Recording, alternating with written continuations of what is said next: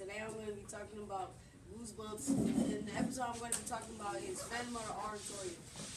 Phantom of the Auditorium is by far my favorite Goosebumps episode because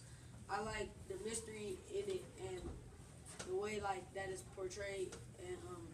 you know you you never know who is the Phantom and when is the Phantom going to come because like when I first watched it I thought that the Phantom was the night that was the Emilio, but I, but I found out that it was actually the kid from that went to the school 52 years ago, Brian Colson, and I think it was like kind of kind of like I didn't like it in some way because like your, your, the teacher